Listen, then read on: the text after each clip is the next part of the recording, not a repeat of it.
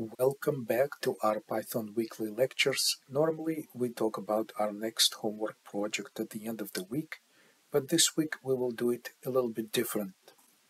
As we begin to experiment with the Python data types in our next few videos, I recommend that you start using your own computer to try as many as possible of the coding examples from our presentations. Additionally, watch again the MIT lecture video from the previous homework and continue reading tutorials also discussed last week in the previous assignment.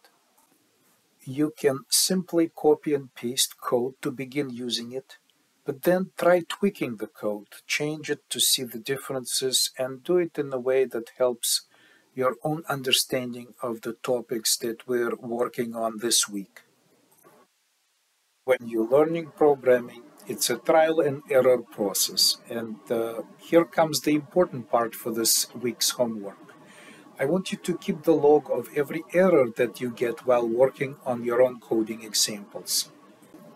I created a template file named homeworkproject1.py and it looks like a form that you need to fill out and submit. Here you can write in the required parts and submit 10 or more coding fragments which contain the code that made your Python program crash or run incorrectly.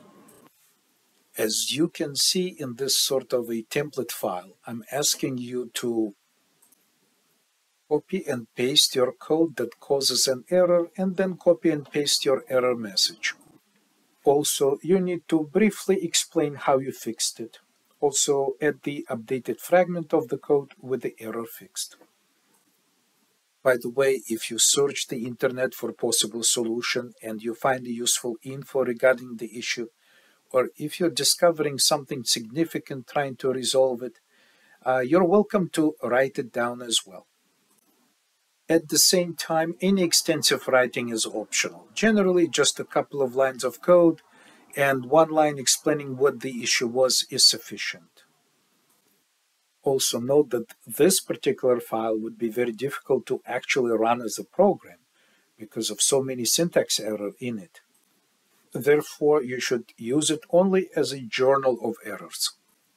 To test your code, use your own Python source files instead, and leave homework project1.py only to store an error report with your instructions on how to fix it. I hope you have some fun working on this assignment and enjoying watching the lecture videos.